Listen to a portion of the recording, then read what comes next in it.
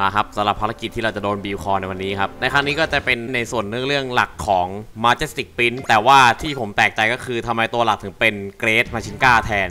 ซึ่งเปิดเรื่องมาก็เราก็จะเห็นการสนทนากันระหว่างของพวกกูกับลุเนื่องจากว่าผมไม่เคยดูก็เลยไม่คอนเฟิร์มว่าพวกเขาคุยอะไรกันเป็นหลัก แต่เท่าที่ผมมองว่ามันเป็นประเด็นสำคัญจริงๆ ก็คือ เรารู้ว่าจีอาร์ตเนี่ยมันเป็นพี่ชายของทีโอเลียที่เป็นอีลักซ์ประจำเรื่องกับดูเหมือนว่ามันจะส่งไอตัวไล่อีกตัวหนึ่งที่ชื่อคลายเนี่ยมายังโลก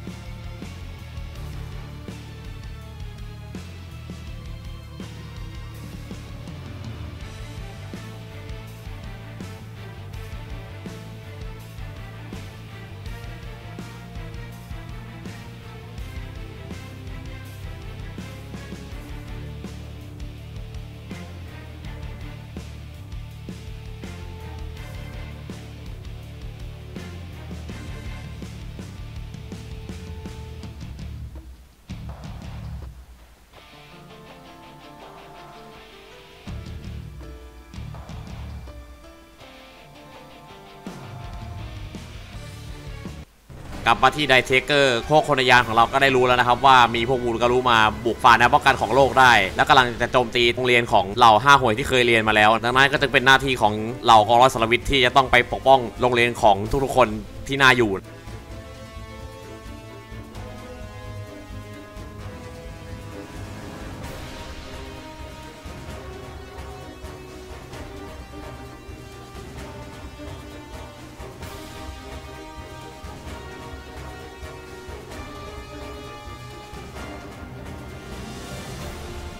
แล้วเราก็จะได้รู้ว่าเทสยาเนี่ยก็มีอยู่ช่วงเวลาหนึ่งที่เป็นอาจารย์ให้กับใครหลาย ๆ คนที่เคยอยู่โรงเรียนนี้ และเทสยาก็จะออกมาบอกกับทุกคนว่าจะไปปกป้องด้วยกัน และนั่นจึงเป็นเหตุผลที่ทำไมเทสยาถึงเป็นตัวหลักในด่านนี้นะครับ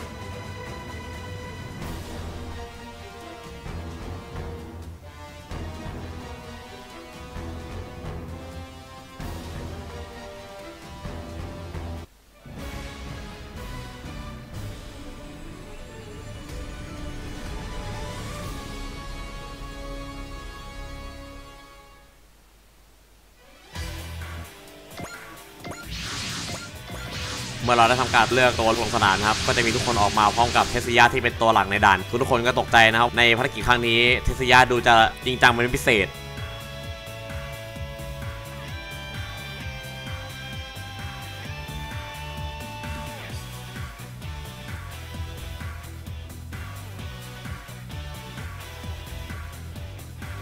และทางนั้นก็จะมีเหล่ากระลุโผล่ออกมาพร้อมกับคลายที่จะเป็นตัวร้ายที่เราจะสู้ในด่านนี้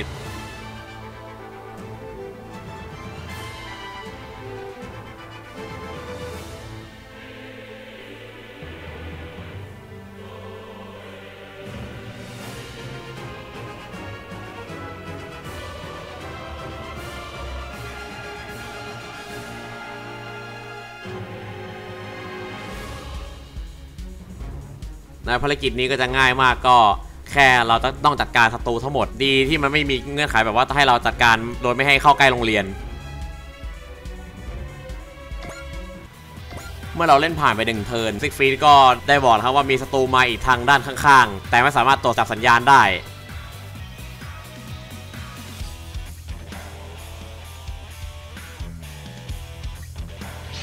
ศัตรูที่มาอีกฝั่งหนึ่งก็คือ เราที่ไคจูที่นำโดยบารอนอาชูล่านั่นเอง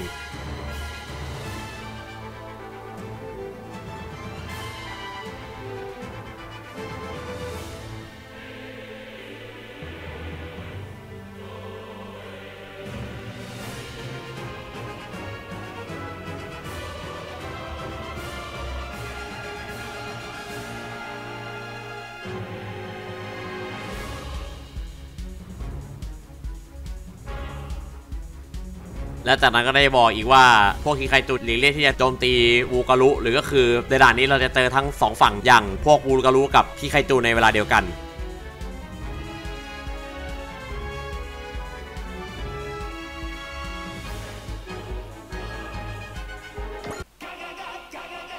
ในการปิดฉากคลายผมก็ตามสูตรก็คือเอาพี่ไกตอนที่ยังขับเตาไฟก้าไปปล่อยพวกแค่แฟนทอมใส่นะครับ มันเจ๋งตรงที่ว่าไกมีบทพูดกับพวกวูการูด้วย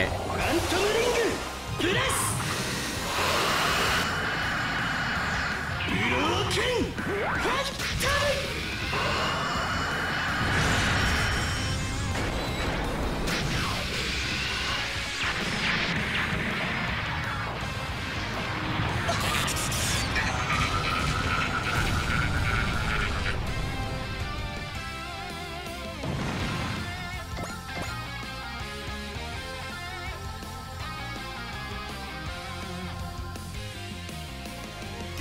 และทันใดนั้นตอนแรกที่เราคิดว่าเราจะจัดการคายได้อย่างง่ายดายมันก็ทำการรีเลือดซึ่งก็หมายความว่าเราจะต้องสู้กับมันอีกครั้งหนึ่ง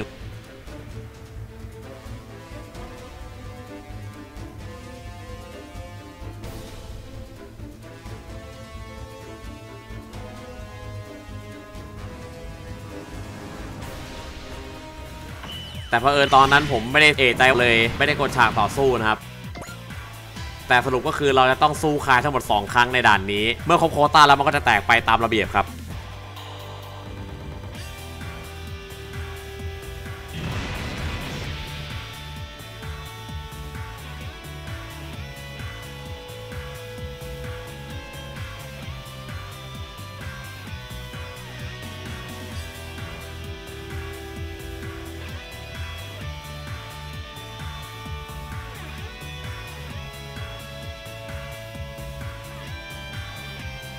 และแน่นอนว่าในส่วนของบอลลอนอัลเชล่าก็คงจะให้ใครเก็บไม่ได้นอกจากพี่โคตีนะครับ เพราะว่าเทสยาผมไม่ได้อัพเลย แต่ไม่เป็นไรอยู่ภาคเดียวกันแถมเป็นพระเอกที่แท้ทูครับ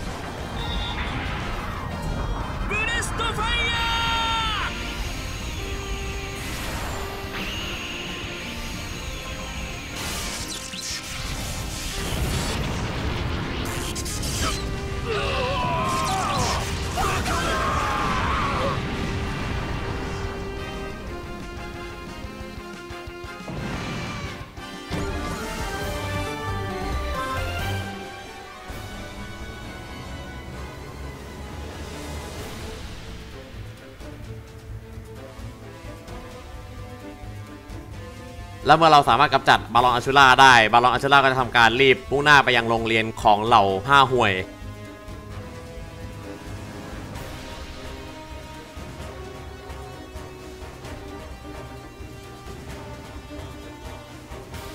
และความหล่อของพรีเทสยาก็ได้เกิดขึ้นครับ เขาได้นำตัวเองไปป้องกันโรงเรียนเอาไว้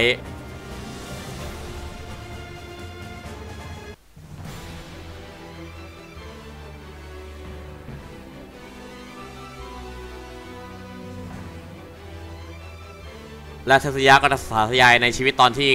เคยเป็นครูฝึกสอนให้กับทุกๆคนในโรงเรียน ก็อารมณ์คล้ายๆ ประมาณว่าอาจารย์ที่ยอมปกป้องสถาบันอย่างสุดชีวิตนั่นเอง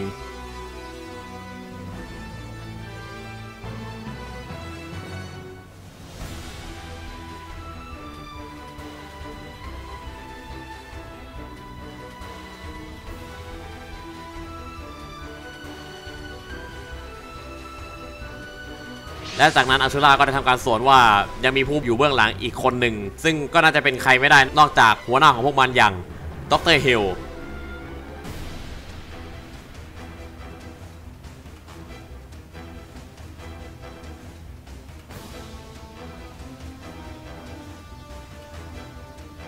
และทันใดนั้นอัชูราก็ได้บอกว่า ตอนนี้เทสยาได้มาติดกับของพวกเราแล้ว ใช่แล้วครับ ตามใน Mazinger Z Infinity ก็คือ เทสยาจะถูกจับตัวไปเพื่อนำไปประกอบกับตัวหุ่นร่างยักษ์ผู้ให้กำเนิดอย่าง Infinity หรือโกลากอนนั่นเอง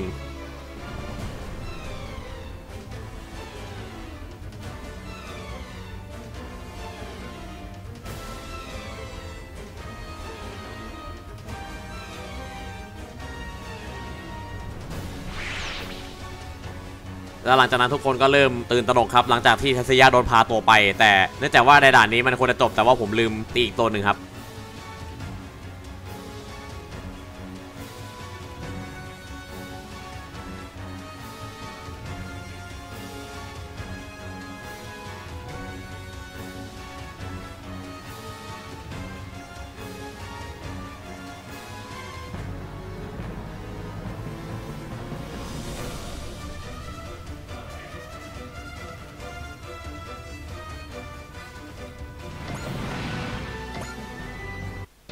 และเมื่อจบด่านก็ทุกคนก็สามารถปกป้องโรงเรียนเอาไว้ได้ แต่ก็แลกกับที่เทสยาต้องโดนลักพาตัวไป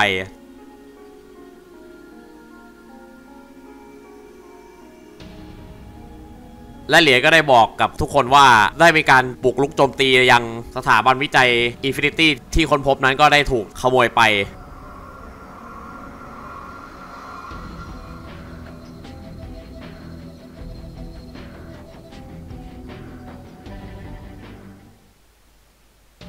เมื่อกลับเข้าพัทยาไดเทคเกอร์ก็โคติก็ได้รับทราบเรื่องจากสยากาแล้วก็ตามในเนื้อเรื่องเลยก็คือเทสยาเนี่ยแหละจะเป็นกุญแจสำคัญในการที่จะทำให้ตัวอินฟินิตี้นั้นสามารถทำงานได้ ก่อนที่จะเป็นอุปสรรคต่อไปในด่านที่เราเคยเล่นกันไปในไลน์แล้ว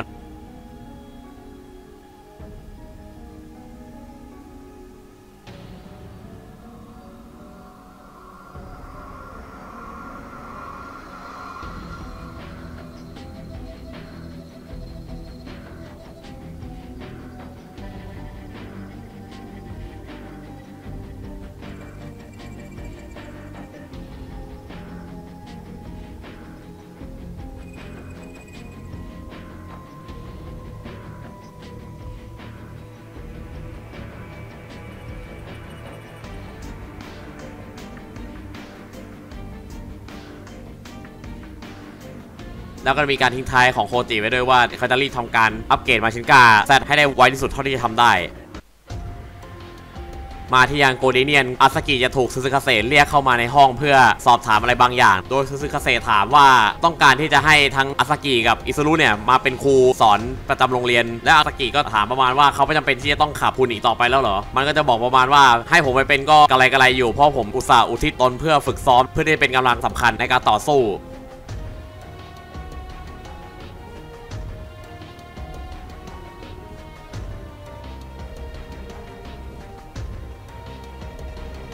และซึซึกาเสะก็ได้รับทราบเรื่องนี้ ส่วนเหตุผลที่เรียกอาสกิมาคนเดียวก็น่าจะรู้อยู่แล้วว่าถ้าเกิดเอาอิซุรุมาก็คงจะปฏิเสธ เช่นเดียวกับอาสกิหลังจากนี้ก็จะมีการพูดถึงเรื่องที่ว่าเขาต้องการที่ช่วยเหลือเทสยะ อันนี้มีคนทักในไลน์ว่าจริง ๆ ที่อาสกิไปช่วยเทสยะเพราะว่าเคยเป็นลูกศิษย์มาก่อน ซึ่งอันนั้นก็ใช่ครับแต่เหตุผลจริงๆเนี่ยที่อาสกิไปช่วยในด่านที่เราเคยเล่นกันไปแล้วก็ มาจากตรงนี้แค่อาสกิอยากจะลองพิสูจน์ตัวเองให้เหมือนกับที่อิซุรุพยายามอยากจะเป็นฮีโร่ก็เลยเป็นสาเหตุที่ทำให้อาสกินั้นเข้าไปช่วยเทสยาด้วยตัวเองในด่านที่เราเคยเล่นกันส่วนหนึ่งก็มาจากคำแนะนำของซึซึกาเสที่เห็นว่าอาสกินั้นเป็นห่วงอย่างอื่นมากเกินไป ก็เลยได้มอบหมายให้อาสกิเนี่ยลองค้นหาตัวเองดูและเอาชนะมัน